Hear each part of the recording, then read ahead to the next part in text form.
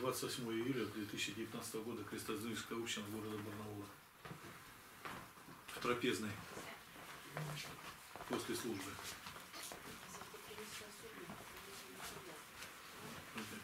Брат, ты остаешься сегодня? А что ты? А? Побежишь? И куда ты от нас побежишь? Может, стоит притормозить? Плохо.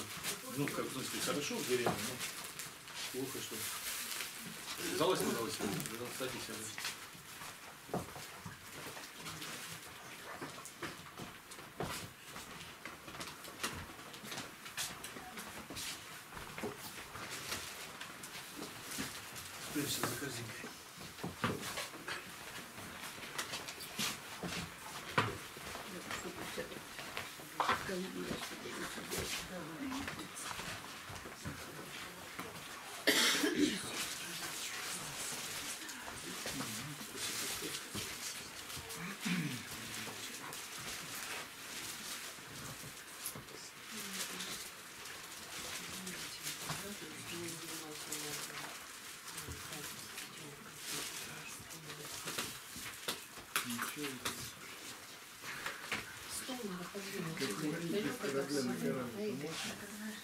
Слушай, успокойся.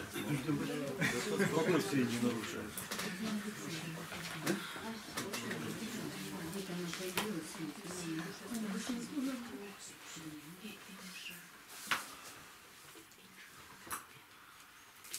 Дочку ждем. Батюшку ждем. Может быть. Болящих начнем? Болящих. Вот, Ну давайте, вот Ма- Марина выступит. Давайте. Давайте помолимся, да? Царю Небесный, утешителю души истины, ты же здесь сын, и вся исполняй сокровище благих и жизни подателю. Приди, селися вны, и очистены от всякие скверны. И спаси, блаже, души наша. Отец наш Небесный, молим Тебя имени Господа нашего Иисуса Христа, Спасителя, прибудь с нами, прибудь с нами, благослови наше собрание. Да мы всегда пребывали в едином мысли и были верными дочерями и сынами Твоими. Тебе славу высылаем Отцу и Сыну и Святому Духу, ныне всегда и во веки веков. Аминь.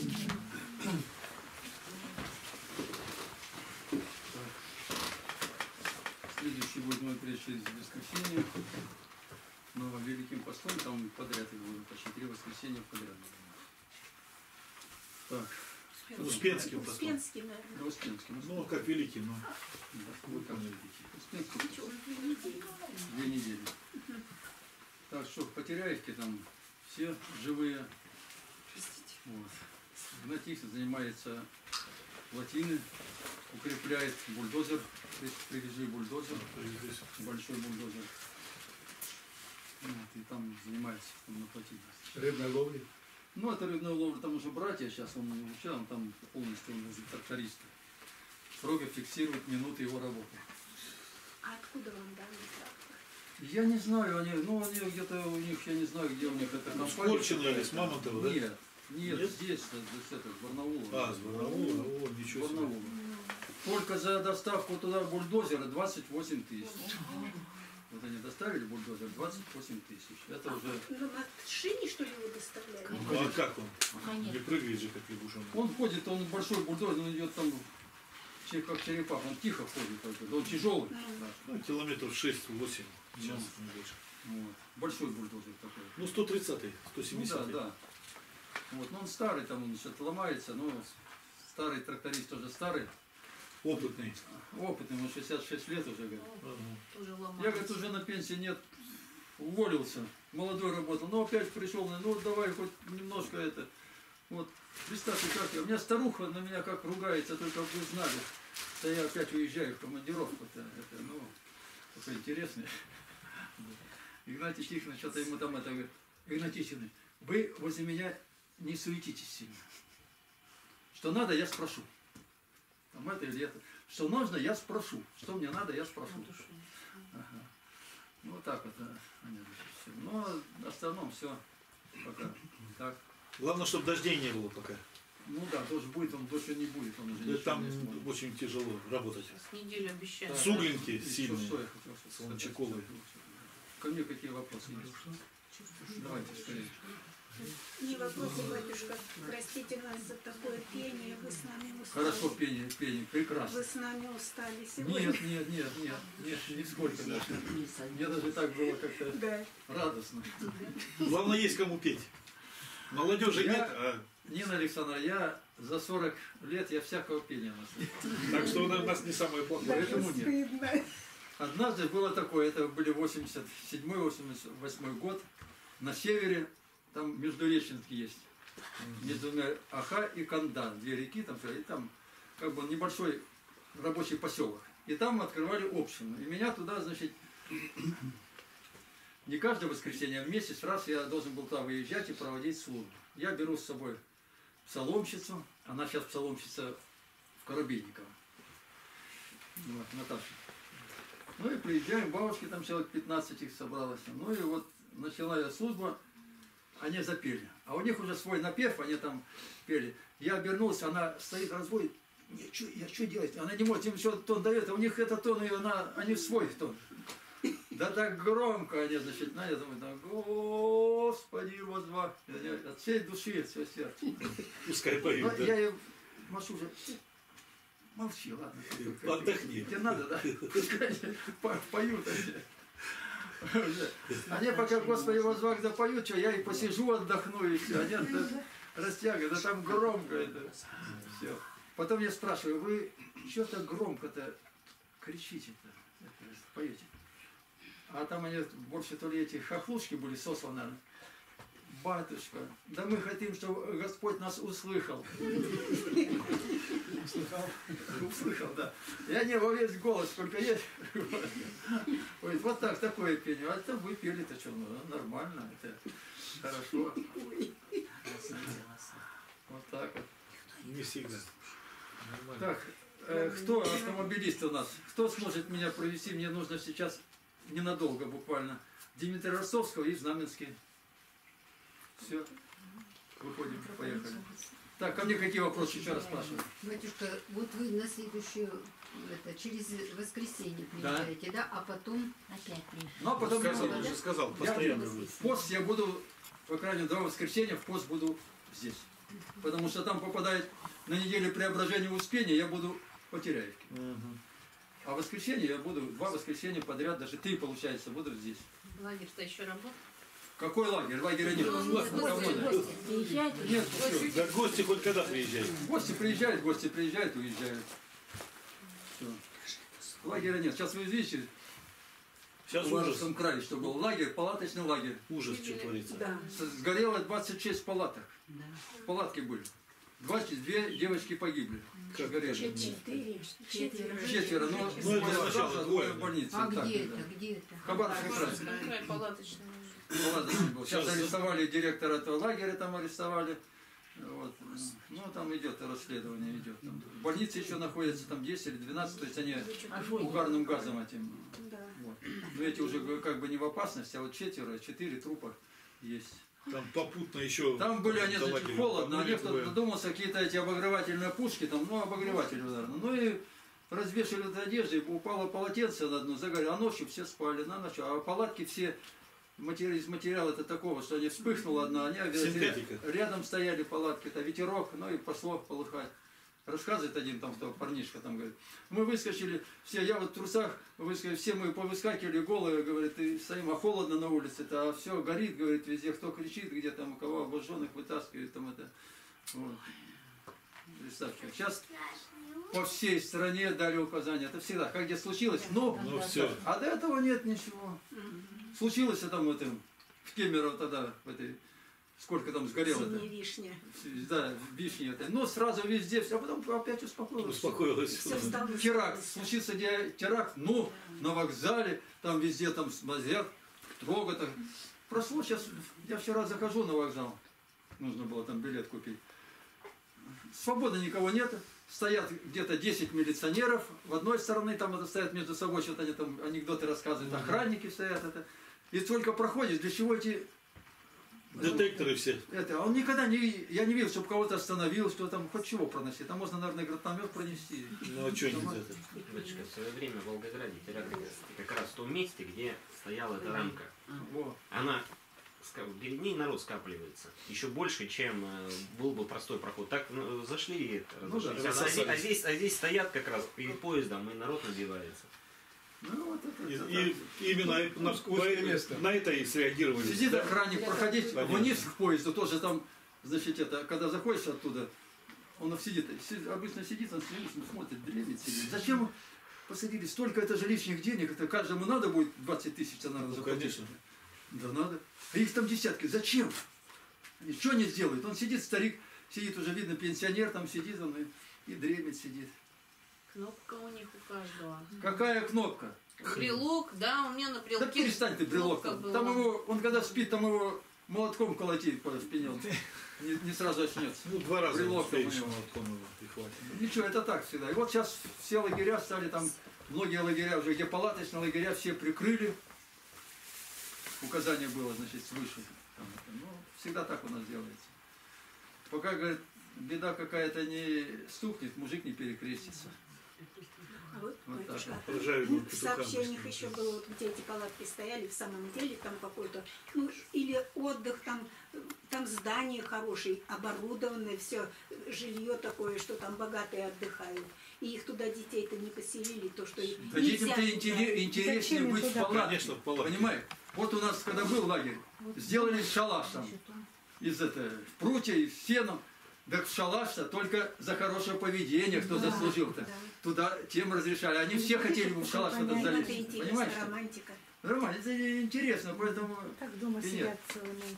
э, как-то там, значит, решили те киргизы, где живут там в юртах, их, ну, создать им благоприятные условия. Построили там дома, только там, там все, там кухня, там туалеты, все. Но они, говорят, в этих домах, говорят, э, нет, а рядом с домом они юрту ставят, даже в юрте, говорят, живут. Ну, Приятнее в юрте-то жи- жить, где привы- привычно, но. Поэтому не поэтому, что там богатые там, а им не дали, нет. Не Дух. Ну, лучше. так объявили. Ну, Да. это объявили, сейчас это что, Хорошо, что угодно. там Так, ну что, я, я поехал тогда. Вы, если нет никаких э, этих, А все, и уже вы машиной как-то все, я съезжу, да мне надо. Евангельское чтение, потом разберемся. Да, конечно. Евангельское чтение, Евангелие от Матфея, 9 глава. Мариш, давай ты послушай Слово Божие и быстренько. Она хотела сказать что-то. Ну давай, говори. Я завтра в понедельник уезжаю на месяц. Если кто-то расположен, то пришлю. За путешествующую, конечно, как это Считай, на. Ну, Куда конечно, пошла? Вот видишь, он меня специально отпускал, чтобы она посидела. Читаем. Слово Божие читаем. Тихо. Марина, поедешь тогда к это, привези. Где, ну ушел? Она уже убежала. Ой, ой, да? Аленький цветочек. Она хитрая. Я Девятая знаю. глава Евангелия первые вторые Тихо. стихи. Тогда он, войдя в лодку, переправился обратно и прибыл в свой город. И вот принесли к нему расслабленного, положенного на постели. И, видя Иисус веру их, сказал расслабленному, «Дерзай, чадо, прощаются тебе грехи твои». Толкование блаженных Феофилак. Своим городом называют Капернаум, ибо Христос жил там. Родился он в Вифлееме, а Назарет в, Назарете воспитывался. А Капернаум был всегдашним местом его жительства.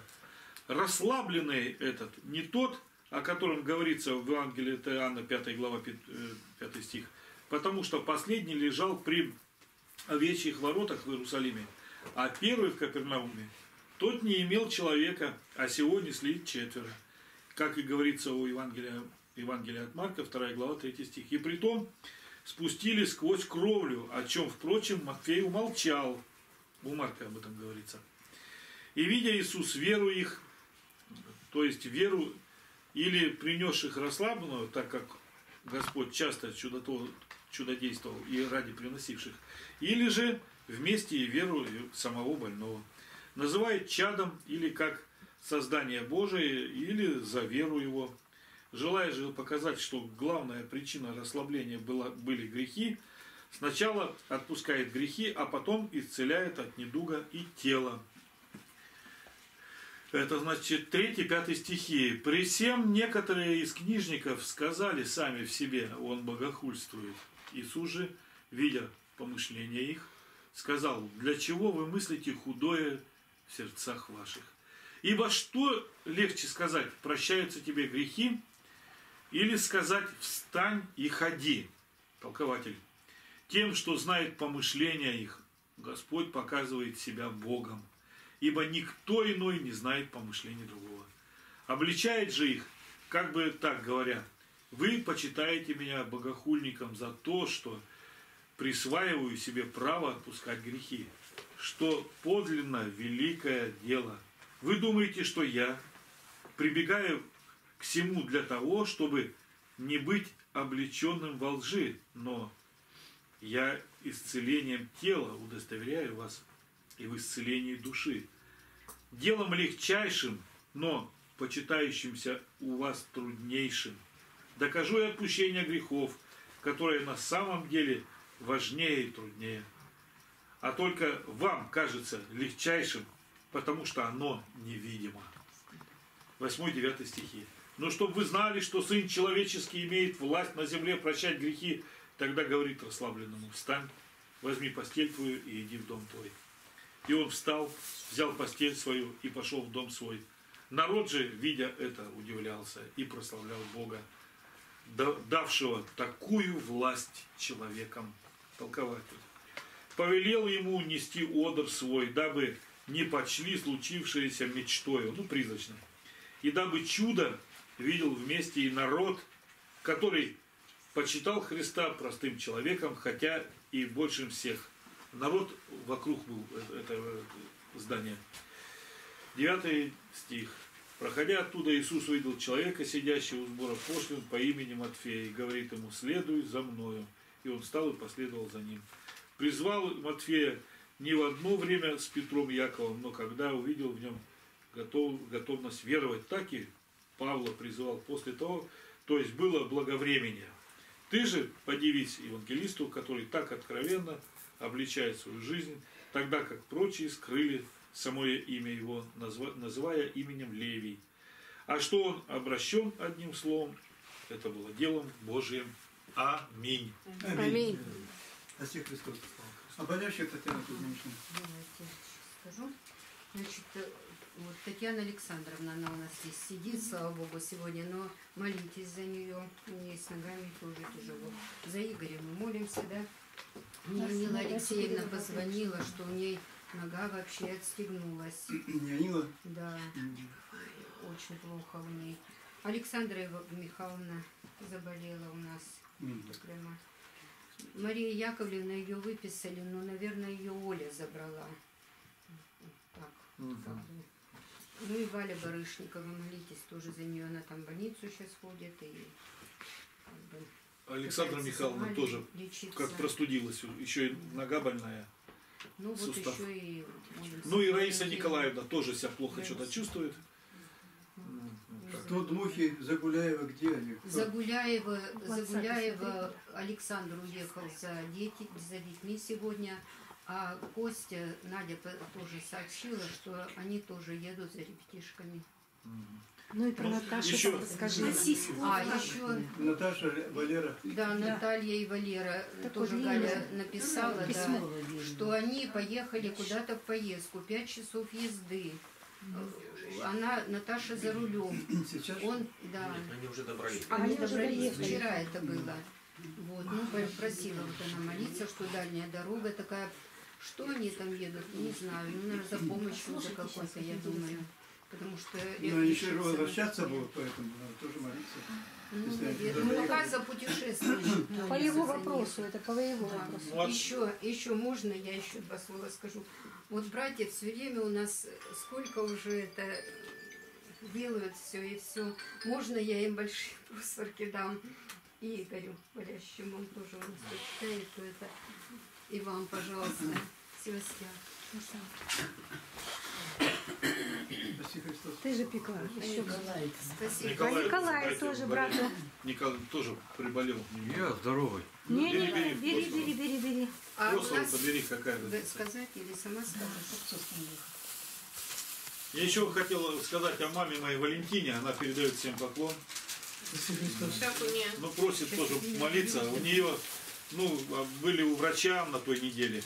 И врач одно ей сказал, что давайте принимайте химические таблетки эти, все нормально, там полегчает. А когда она вышла, то сестре сказал, говорит, э, у нее, говорит, онкология, говорит, и никакого, говорит, надежды, говорит, просто нету, что будет излечение. Раз Дай уже Бог нет. силы и терпения донести до. Но я, я прошу, как говорится, ваших молитв, я не знаю, как маме Ой, это я передать. молюсь Сестра это не передала ей. Не и я, надо. И я тоже не стал это передавать, потому что я верю в чудеса, я все-таки верующий. Да. И врач, он сказал свое мнение.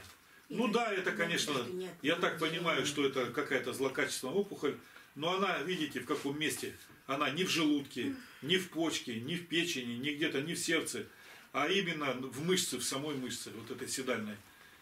Вот, э, и я так понимаю, что это могло надолго, видать, затянуться, но она, эта мышца, она примыкает прям к копчику, прям к основанию копчика. Ну и там, короче, разговор идет о том, что может прорасти в кости все. Вот в чем дело. То есть, Виктор Андреевич только знает, так что, так что я, у ней постоянные боли, она уже просто так передвигаться не может, уже она ходит вот с такими ходунками. Это все очень быстро прогрессирует в течение буквально трех месяцев. Она вот только что на огороде садила огород сама и ухаживала, а потом раз все и кончилось. И сейчас приходится сейчас там молодой этой 13-летней это, Внучки. пле- племяннице, внучке ее, надо вот теперь на огороде что-то делать. А она вообще не приучена, она ее не приучила к этому. Вот. Они боялись потеряевку отправлять, да боялись, а теперь все уже. В общем, страшно, когда все это через духовное проходит. И очень тяжело теперь и читать, и молиться тяжело. Ну там батюшка, это вот, э, это вот этот хирург, к которому она пришла, это через батюшку уже. Батюшка, ну, их там, который сейчас у них там в этой деревне Бугачева, Красноярского края, он, отец Александр, он посмотрел, видит, что ей тяжело, ну, к ней сестры приходят, просфорки приносят. Ну, она говорит, теперь, наверное, я уже не смогу ходить, чтобы он ее туда причащать приезжал. Я говорю, так пошли сестру, пускай поговорит. Вот сестра со мной говорила на той неделе. Я говорю, никаких вопросов-то нету. Он, видать, добрый батюшка-то такой, по нем, понимающий, уж это-то дело они делают. Пригласите его, Да. пускай он причащает ее, чтобы не ушла просто так. А то от этих Да. болей что там непонятно будет. Помоги, Господи, дай Бог, чтобы без ропота и уныния и отчаяния всё. Да, про да, но она не скажите, в общем. Виктор Андреевич, про Алексея, если. Про Алексея Семеновича я Алексей хочу вам Семенович. сказать. П- п- Прошу вас молиться о нем усиленно, потому что во вторник у него будет операция. А, все-таки до операции дело дошло. Ну, его увезли по э, в реанимобиле, увезли туда. в Томск. А с чем? Его Сердечная 10 лет назад желудка обходные анастомозы, три э, анастомоза, шунты, так называемые, аортокоронарное шунтирование от главного сосуда в организме, аорты, э, к мышце сердца, к сосудам к самой мышце сердца про- провели обходные, где место там вот оно забито, они вокруг него и в эту артерию вошли. Теперь эти все три анастомоза, один из них практически не функционирует, а два тоже, других, они тоже мало функционируют. А где Фрося? Поэтому у него сильнейшие боли, сильнейшие боли Не возникают. И он здесь, и он здесь находился только на вы- коронаросширяющихся препаратов, А где Фрося? обезболивающие. Поэтому Нужно заменять вот эти... нет, будут проводить стенты, то есть внутри этих э, А, внутри этих анастомозов попытается провести стенты. Но это Чистить очень, короче. это очень опасная это операция, и он предупрежден от осложнений, которые могут закончиться смертью на операционном столе. Миша, Миша Это кости, да, тоже? Нет, нет, это эндоскопическая будет операция, но она очень такая чревата осложнениями. Будет проводить сам заведующий отделением, Андрей его зовут, да, Андрей. Вот. Помолитесь об Андрее, чтобы Господь укрепил его в бедствующую руку, чтобы все прошло. Ну и если угодно, святой волей, то, чтобы Господь его еще воздвиг от Тетя здравого Алла. Вот. Значит, он здесь, будучи в больнице, ис- исповедовался, ну, батюшка его исповедовал, причащал там Ага. в этом. э, Мало того, ко- когда он еще был, потом приехал здесь, лежал уже у нас в больнице, он у нас здесь, батюшка ему разрешил, он исповедовался здесь, в нашей больнице, в часовне. Теперь там он уже, вот сегодня он должен был, вчера должен был исповедоваться, сегодня, не знаю, причастие будет, не будет, ну вот так. То есть он постоянно молится, Э, Алексей Заг- Загуляев ему записал Библию, он слушает постоянно, читает. Я ему дал, Да слушайте вы. я ему дал книгу Доктор. Данила Сысоева э, «Инструкция для, без- для бессмертных» или «Что делать, если вы все-таки умерли». Он со, первое говорит, время я читал со страхом, а потом как-то, говорит, адаптировался, Какой может, же страх-то там. привык к этому. Ну, естественно, да, страшно. Вот. Ну, с батюшкой мы ему напрямую сказали о, о возможных исходах, сказали, чтобы он готовился к этому. Но вот все равно нужно молиться, чтобы Господь его укрепил.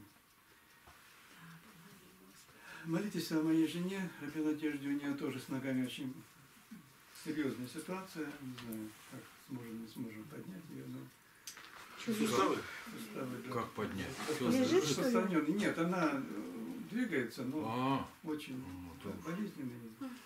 понял. Ну, это уже в какой-то степени, да? Да, да. Понятно. Ну, то же Мы самое. делаем гимнастику, там разные мероприятия принимаем. Да, это Миша, делай. Самое лучшее это гимнастика. Миша, ну там зеленым змеем. когда вот Никто ноги двигаются, не он лучше. Ну сходите. А это где такое? Зеленый змей где? Где-то в любом... Это Марьюра, в у любом. каждого алкоголика сидит внутри. А, Про Мишу. куда-то он уехал. Да. Никуда не уехал. Змеи его душит дома. Змеи всех дома. Если он еще жив, неизвестно. Надо все-таки, наверное, как-то посетить. Братьям, ну то я тогда же. Да позвоните, да и все. Что? А он не отвечает. отвечает, трубку не берешь. Он не ответит в этом состоянии уже все. Я звонил, не ответил. Когда? И что тебе сказал? Нет, меня Когда ответил? Ну-ка позвони. Да вот с кем мы говорили. С Таней, по-моему, говорили. Сейчас я попробую позвонить. Миша, ты, ну-ка. Вов, Так. Тетя Алла, вот тетя Алла что-то хочет еще спросить. хочу сказать вам, э, братья и сестры, я хочу напомнить о том, что у нас 24 июля была годовщина нашей сестры Да. Рабе Анастасии. Я хочу сказать о том, что многие из нас, в том числе и я, при ее жизни мы многое говорили, что нелестно в ее адрес. А потом, когда я общался с ней, будучи в ее уже болезненном состоянии, я понял, что это личность, личность очень интересная. Да. Она писала стихи, она рисовала, она... То есть в ее условиях, в которых она находилась, и как она была воспитана, она для детей сделала все, что могла. У них больше не было заложено. Все, что могла. И она принимала вот свою болезнь большей частью без ропота, на 90%. Иногда, конечно, срывалась, было такое, она потом сожалела об этом, но большей частью без ропота, уныния, отчаяния, с благодарностью. Она исповедовала Христа, будучи в больнице. Вокруг нее люди с благодарностью вот, вспоминают о том, как, как- когда с ней общались. Так что помолитесь о ней, э, чтобы Господь ей даровал Царствие Небесное, где пребывает все лица Господа. А Ефросинья-то где? Фрось, что ты там делаешь? Иди сюда. Совсем плохая Телефон. была, носки взяла. Какой телефон?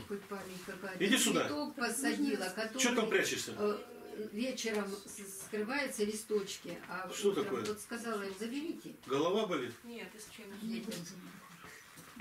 Ну, садись сюда, садись. И еще хочу поделиться-. И еще хочу поделиться с вами о моем впечатлении от общения с э, мусульманином. С ними общаюсь уже, можно сказать, даже много лет. Э, Он работает в нашей больнице, таджик, глубоко верующий.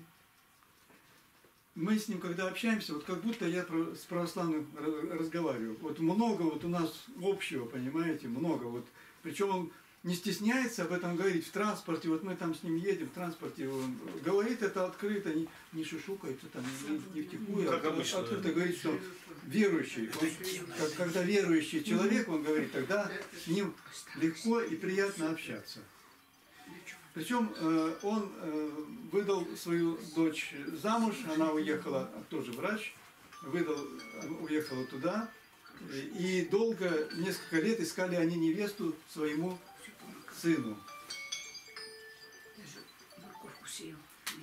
И вот он уехал, он здесь закончил медуниверситет, э, закончил ординатуру по лор-болезням и уехал в Питер. И в Питере там нашел себе супругу, которая оттуда, из их родины. Представляете, как мир тесен. И вот он мне показывал фотографию, э, и это просто вот надо, это надо посмотреть, как они умеют, мусульманки, одеваться красиво. Вот это вот женственность такая, знаете, это вот красота и женственность одновременно. Это вот просто поразительно. И он очень доволен, доволен и рад тому, что произошло, что она верующая, что у нее она учится, получает высшее образование, у нее уже есть музыкальное образование и все такое. Она собирается опять еще второе образование медицинское получить. Но говорит, как только появится ребенок, скорее всего, эта идея засохнет. Но тем не менее, да. Так что вот они, как говорит э, Игнатий несколько раз говорил о том, что они религиозно талантливы. Он рассказывал мне эпизод. Говорит, был я в Новосибирске, это была зима, холодно, очень холодно на улице. Я, говорит, время намаза, я не могу найти место, где совершить намаз. Я вижу храм ваш православный. Я захожу туда, спрашиваю, можно мне помолиться? Да, можно, конечно. Я мусульманин. Вешали, говорит, посмотрели на меня. Ну, говорит, дали мне место, такое хорошее место. Я, говорит, там совершил намаз. А почему нет? говорю. Так что вот такая вот, такое вот общение, интересное. Ну вообще общение. можно вот Это вот я действительно понял, что это люди религиозно талантливые. И он причем считает это постоянно, и и его вся, вся семья глубоко верующая. Ну, глубоко сожалению, верующие мусульмане. Они- Тетя Алла, ну, что-то, ну, тетя да. Алла, где тетя Алла? Все, ушла? Все. Можно еще? Добро. Хотел, хотел поблагодарить всех за молитвы, ну и брата Севастьяна нашего. Он э, как адвокат, конечно, ну, на месте там оказался как раз, я даже не знаю. Ну, Господь это одно из чудес, какие Господь делает. Вы- выиграл он э, с Божьей помощью для меня два дела моих по пенсии. Ну, Районный суд и краевой И суд. краевой уже пошел. Да, краевой прошел. И они там вижу, что, что это коллегия, тройка, там тройка, три женщины было. Три женщины. Три женщины, я бы не сказал, что, ну, они мне как-то все глянулись. А председательница, она такая вообще молодец. Я что-то посмотрел, я, я посмотрел сразу, думаю, так у меня спокойно на сердце, думаю, они не будут, думаю, там что-то сейчас затевать. Не пойдут они на это, чтобы против суда, районного там. Там у меня мужчина был, По-моему, и ты им приглянулся. ну, я, да, я зашел как, как болящий на костыле, конечно, все. Я мог без, без костыля, но это было бы очень убого смотрелось. Ну и это, они, и как только я заявил представителя, они даже сами заявили, говорят, у вас-то это представитель, я говорю, да, да. Я все пытался запомнить, как мне Севастьян сказал, чтобы его оставили там. И, ну, запомнил одно, что он представитель у меня. А что там дальше надо с ним делать, с этим представителем? И они сами, у вас тут представитель э, Бауэр, э, да? Я такой, да, да, головой закивал. Ну, запишите. Она такая, запишите его, запишите. То есть, мне ничего не надо было даже говорить. И они сразу, я неинтересен стал, и сразу на него переключились и разговаривали только с ним. А Севастьян отвечал им такими фразами адвокатскими, юридическими, философское такого ихнего ораторского искусства. В общем, ответил. Все было очень кратко. Все и очень кратко, главное, да. И они его поняли. А одна так интересно, э, которая председатель, она такая немножко вперед наклонилась, такая сидит. А одна, которая с- этой стороны была, она вот так вот. Вот так. И такая внимательно его слушает. Я слушаю его, ничего не понял, что он там наговорил. Я понимаю, что он говорит правильно, что он будет другое говорить. Ну, что они там друг дружку на, на такое, что там, там, там, такое, я, я попытался запомнить, думаю, так, Игорь, запомни-ка вот это вот выражение, как он сказал там три слова. Ну, мне легче Шарикова запомнить, знаете, как. Вы находитесь на низшей ступени социального развития. И я так себя представил. Всего лишь надо было запомнить. Прошу допустить моего представителя. Прошу допустить моего представителя. Я мой представителя помню, а дальше что там? Прошу их А что, прошу допустить, прошу допустить. Понимаете, эти просьбы, я только к Богу так обращался, а здесь нужно идти прям и лучше задом заходить, что как это мусульмане делают. Чтобы Ваша честь. ваша честь, да, у них Да, все это там да. строго. И знаете, там самое интересное, что когда сидишь, Да, когда да. сидишь, там вот так вот. Вот так. Сидишь там, я, что это, я спрашиваю, Севастьяна, что это за свисток? Он говорит, ты будешь как собака Павлова реагировать, если тут постоянно будешь сидеть. Оказывается, выне- вынес- вынесено решение. И у них там вот такой датчик стоит, и он так. Крайне, крайне неудобно организовано. То есть всех приглашают э, к одному времени, к часу. И потом вызывают в зал заседания. Да, там сидят- в какой они сами захотят. Там 12 у нас было этих дел. И там человек 30-40 было. На 12 дел. Да. Ну, мы двое, там еще все с адвокатами, И конечно. вот когда они ну, послушали, дальше надо выйти.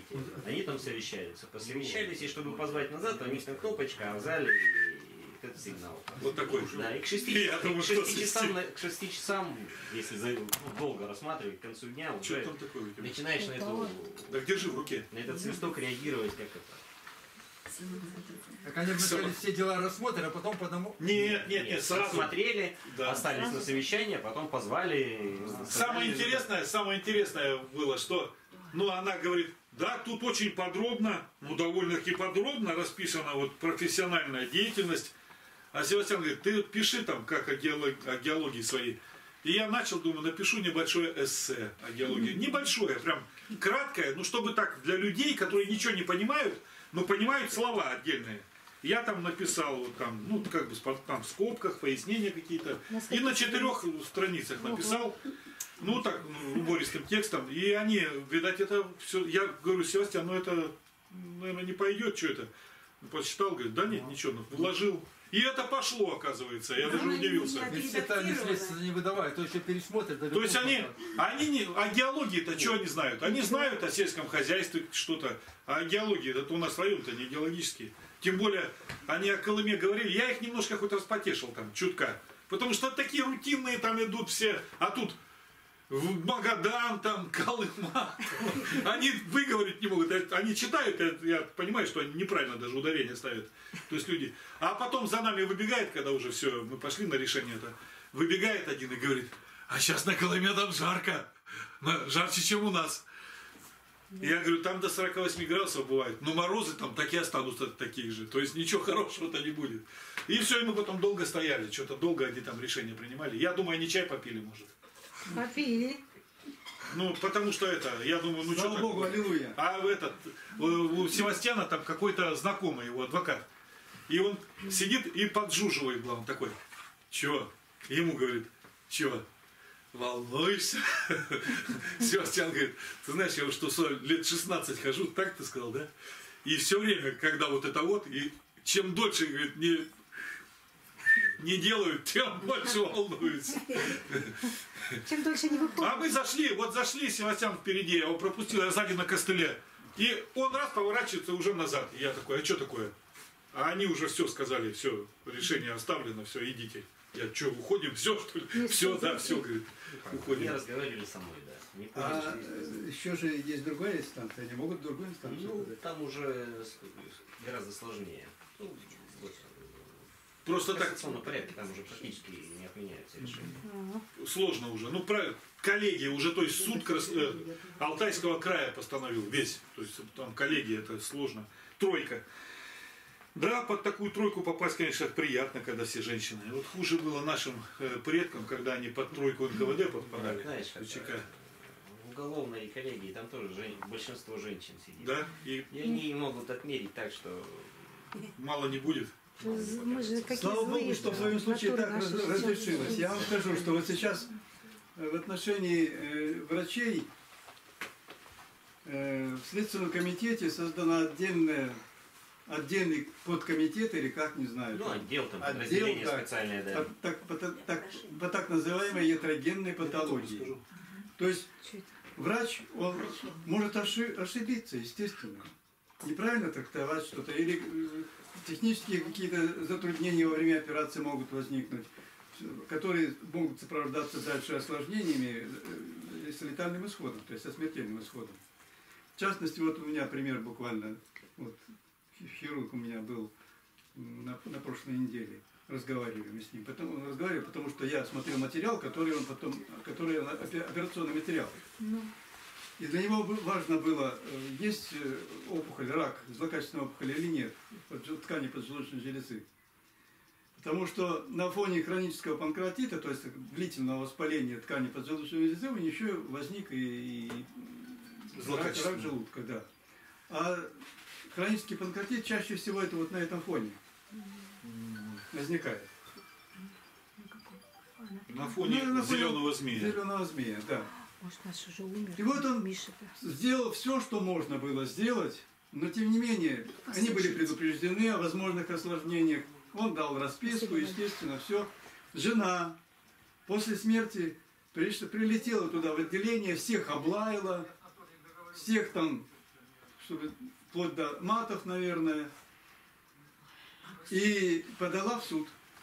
И вот он теперь должен нанимать адвокатов, платить им в течение уже теперь полугода. Как зовут? И вот э, теперь он доказывает, что он не медведь. Как зовут?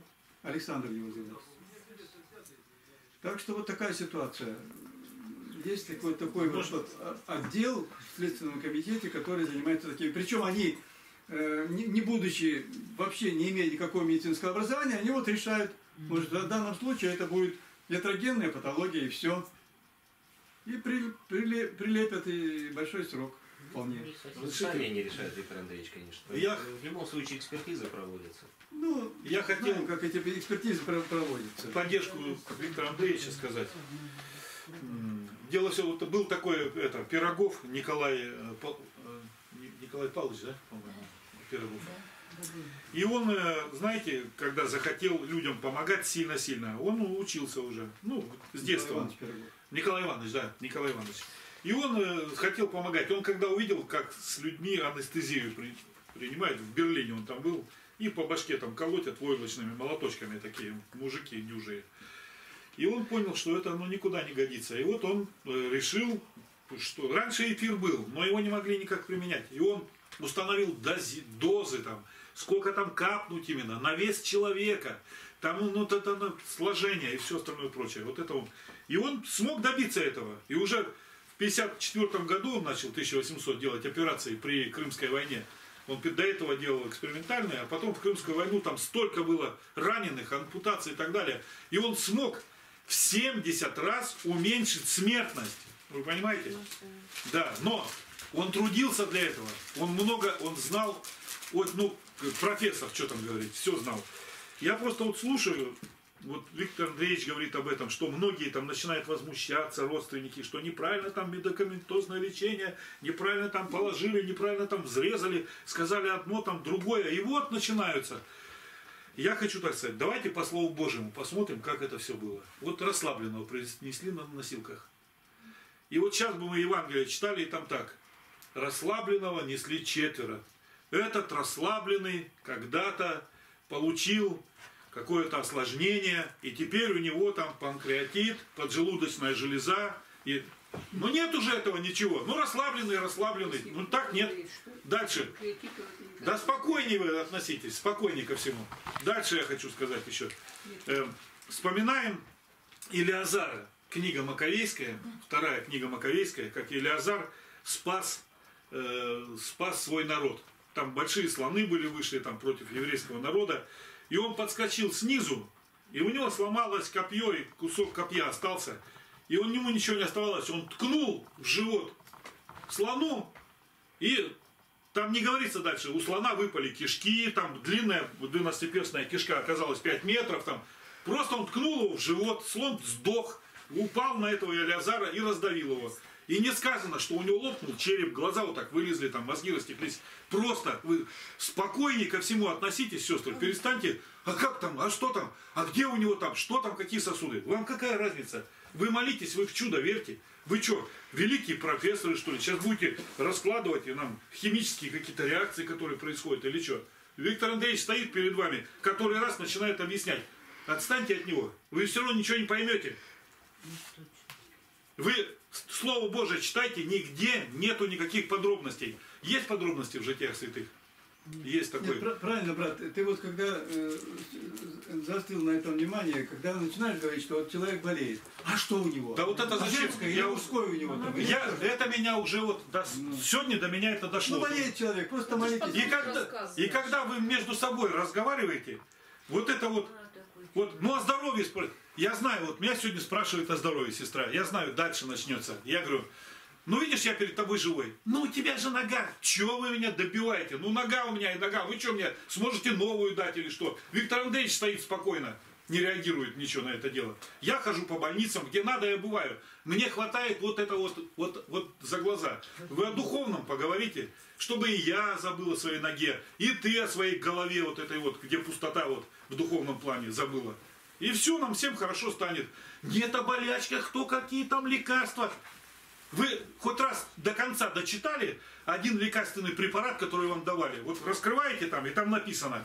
Его содержание, хоть один дочитал до конца. Глюкалметал, микометерметал какой-то там. И вам что, это говорит что ли что-то? Я думаю еще, люди там, которые вы сидите там, Брат, всё, вы что так упираетесь Мы поняли тебя. Кому вы все это объясняете? Спасибо, Господи.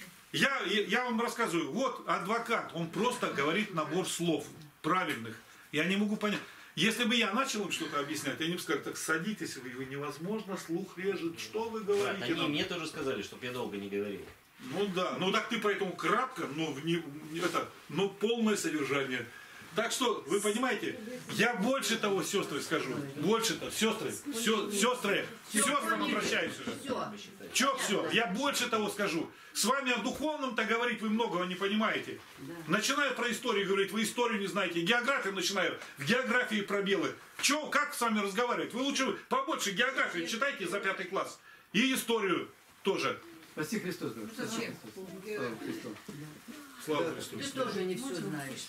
Не, не так долго, но тоже три вопроса. Первое, хочу сказать, Любовь Петровну посетили, у нее очень плохо с давлением, хотели скорую вызывать, но сестра не дала, говорит, таблетками напоила, вроде легче стало, и за нее молитесь, она говорит, я не могу, мне плохо, кажется.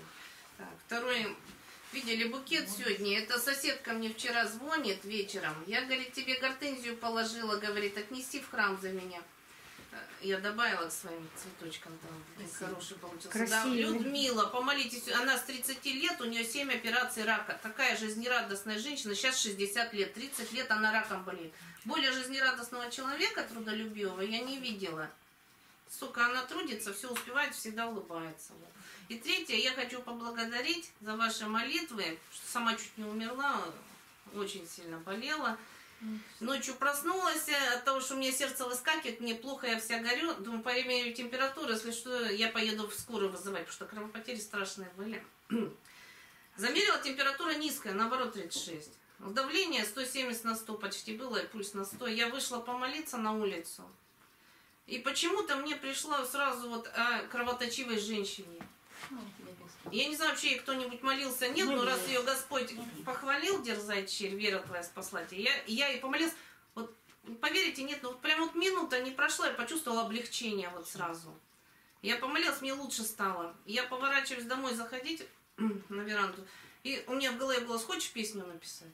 Мне сразу так хочу. Я пришла, легла, начала засыпать, и мне вот так вот бухточка, заливчик, водичка колышется, там ракушки, камушки, и у меня сразу текст песни. Я давай заучить, мне лень вставать 2 часа ночи. Ну, да, и все равно утром я ничего не вспомню, соскочила, записала. Вот, чет- четыре четверостишья было.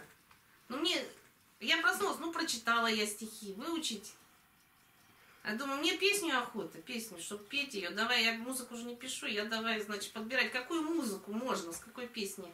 Ну, и мне пришло на ум, как провожают пароходы. Да, ну вот Эдуард Хиль пел в 76 году. Но там у него припев для связки куплетов. И припев я написала сама. Остальное я не пишу, вообще не задаюсь целью никогда. Просто вот пришло, я записала все. Я даже не помню потом, что я записала, мне надо читать. Сейчас постараюсь исполнить. Правда, я долго слушала Игорь, я уже на реймотив забыла и слова. Как провожают пароходы. Во-во, все. Волной смывает все печали, Уже отхлынула тоска. И чтобы ни было в начале, Ведет дорога в небеса. К тебе, Спаситель, прикасаюсь В своих молитвах и делах. И каждый день тебе я каюсь В своих содеянных грехах Всегда, всегда. Тебе всегда, всегда, всегда молюсь всегда. Придет момент, настанет время, когда не в мыслях наяву от всех омытой согрешений к ногам твоим я припаду. Тогда достигнутого счастья словах не в силах передать. Войду в небесную обитель, где вечно буду ликовать всегда, всегда. Буду всегда, всегда, всегда с тобой всегда, всегда, всегда. Буду всегда, всегда, всегда с тобой всегда. Спаси Христос. Слава Христу, аллилуйя. Да, У меня, знаете, немножко не в тему получается. Мне звонила Нина, э, если помните, я сию минуту забыла ее фамилию. Она уехала Свешникова. на Свешникова, да, да, Свешникова. Она уехала ну, на Украину далеко, очень скучает по всем. И она о каждом из нас спрашивала, кто, что, как живут, как делают, что там, вплоть до того, что в огородах-то как у вас там помидоры в этом году и все остальное. Но она очень-очень тоскует. Сын купил ей домик с участком, и она говорит, у меня хоть немножко душа отошла, я без огорода не могу. Поэтому вот мы, конечно, свои огороды так иногда Храм-то ходит? хро- ходит в храм, познакомилась с женщинами, которые там есть, но говорит, лучше наших женщин нигде нету. Поэтому она всем привет передает. и если Лучше можете, наших помоли- сестер. Помолите, да, лучше наших сестер нигде нет. Здоровья Помолитесь о здоровье они. Помоги. Помоги Господь. Нина. Помоги Господи. Нина Свешникова, она вот на горе сестра жила, она все время с огородом. Очень хорошая. Отношения с сыном, со старшим у нее все хорошо, но вот тоска по дому, по, по общине, очень сильная тоска. Прям вот со слезами как-то в голосе, с надрывом говорит. Ну, очень тоскует она. Поможи, Господи, исправиться. Так, еще у кого есть Тут слово? еще приезжает, вот завтра приезжает к э, дроботам, к ребятам э, Зеленский, это, как его, Станислав? Станислав Юрьевич приезжает. Но он как-то всегда приезжает, не попадает. Вроде верующий человек, и молится. Приезжает повидать ну, детей. А он где-то... Он в Кургане живет. Он их знает как-то? или Он уже зимой, оказывается, приезжал, я не знал, что он приезжал. Но Сергей, ну, как-то Пупков с ним больше общается, Игнатий Тихонович. Такой человек, ну, верующий, говорят, верующий, он занимается с ними. Приезжает по Слову Божьему, занимается с ними. Ну, Ване он помогает и материально тоже, то есть Да. как бы Он поддерживает. с его, Настей был Ваня- знаком. Они были знакомы в интернете, потом э, воочию были И он, видать, сюда приезжает, чтобы воистину посмотреть, ну, как тут что ведется. Ну, так как он материально тратится и духовно расположен. Ну, они не против, ребята, я так понимаю. А как его зовут-то? Станислав Юрьевич. Станислав Юрьевич. Но он это такой про- простой в общении, да? Как он с отцом-то вашим? Я бы приехал туда к вам. Отец-то его принимает? А возраст у него какой? А возраст да какой? Возраст у него какой? Ну, честно, пом- точно я не знаю, но где-то за пи- За 50, да? да. А, Ну он еще как не мне видно. пенсионер, ага. Нет, 50 Ага. Ну, то есть, я спрашиваю, почему он не попадает никогда сюда-то к нам, чтобы прийти показаться тут, помолиться вместе? Ну, он у них там день-два и уезжает. И сейчас то же самое, наверное, опять не попадет. наверное. Потеряев не ездил разу. Нет, он не ездил. Инафа, э, Его располагали Нестор, дети. Выскажите ему наше пожелание, чтобы мы с ним познакомились. Да, да, потому что, ну, непонятно, что-то к детям ездит, сюда не попадает. Как будто дети от нас как-то куда-то. Мы, скажи, в общине находимся. Дело все в том, что мы же тоже тут занятия по Слову как- проводим. Все видео, Интересно. которые выставляют. Запис- запишите хоть о чем мы там с вами говорим. Пусть живет у вас до выходного, не спешит за два дня управиться. Но это уже не на два дня, на недельку У обещал. него-то, наверное, у него-то, наверное, там жена, ну, тоже дети есть, нету у него детей. Нету. Он Ну, один может быть, поэтому такой сердобольный. Он один живет. Один даже живет. Да. Ну, в общем, как-то немножко ребята, это, С одной стороны, А понятно, милосердие. вообще? Он кто, кто-то по профессии, он кто-то есть или он? Я не знаю, кто... Ну, Главное, что он верующий. детям это не интересно пока. Не, я спрашивала маму. Они даже меня не спрашивают о не- геологии, не что это такое никогда. Так, ну еще у кого есть слово? Ну, это романтика. Золото. Будем завершать. Камни. Песнопение, занятия, трапеза и занятия. Я всякого истину, Блажите Тебя, Богородицу, Пресноблаженную и пренепорочную, и Матерь Бога нашего, честнейшую Херувим, и славнейшую без сравнения Серафим, без истления Бога Слова родшую, сущую Богородицу Тебя величаем. Господи, защити Родину нашу от нашествия иноплеменников, от внутренних расприй, от беззакония, которое в тайне, останови делающих зло. Просвети правителей страны нашей, чтобы принимали мудрые законы, и всех начальствующих также просвети и защити. Людей, не познавших Тебя, обрати к истине, чтобы божественная любовь Твоя коснулась каждого сердца. Священники, которые не служат Тебе как должно, пусть покаются в небрежении своем и проповедуют смело и на славным об Иисусе Христе. Господи, праведны суды Твои над Россией за то, что оставили Тебя и Слово Твое, изреченное в Святой Библии. Прости нас, Господи, Владыка жизни, что сокрыли имя Твое, Бог Иегова. Дух Святой да наставит нас не признавать никаких иных богов, вопия, Авва, Отче. Господи, научи нас семикратно в день прославлять Тебя за суды правды Твоей. Тебе хвала, слава, честь и поклонение, Пресвятая Троица, Отец, Сын и Святой Дух. Аминь. Еще помните, сегодня произносилось имя о болящем Анатолии. Это отец наших, ну, муж э, э, Алевтины Пантелеевны. Да. Анатолий Кузьмич. А что Да. тут? Серьезно болен, он был э, несколько недель Ослабел? был. Прям ослабел? Да. Домой уже. А, Две недели был в больнице, но сейчас дома. понятно. Продолжает болеть, так что помолитесь о нем. Да, Э, Знаете что, подождите, не расходитесь сейчас. У Насти было 24 числа, да? Э, Этот, э, поми- поминовение. Давайте это, споем. и- Ну, Вечную память. мы поем. Мы тоже- Вечная щас- память. Да, Подождите, начинайте. сейчас надо вспомнить. Подождите, а то как... Да он батюшка же здесь. Что вспоминать? Со святыми упокой, вот как. Со святыми упокой. Дочка обедает. Обеды, да? Ну, давайте вспомним.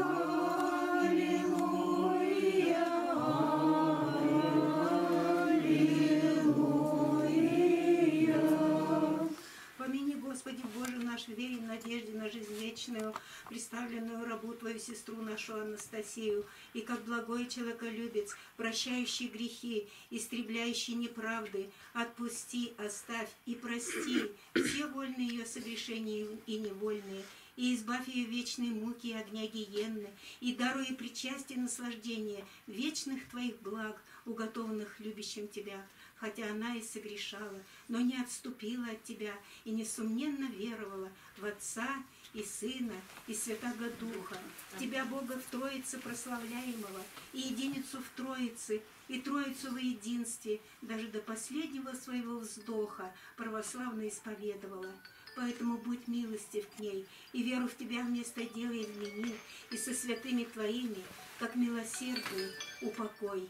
Ибо нет человека, который поживет и не согрешит, но Ты один без всякого греха. И правда Твоя, правда вовеки, и Ты один, Бог милости и сострадания, и человеколюбия. И Тебе славу воссылаем Отцу и Сыну и Святому Духу, ныне и присно, и во веки веков. Аминь. Вечная память,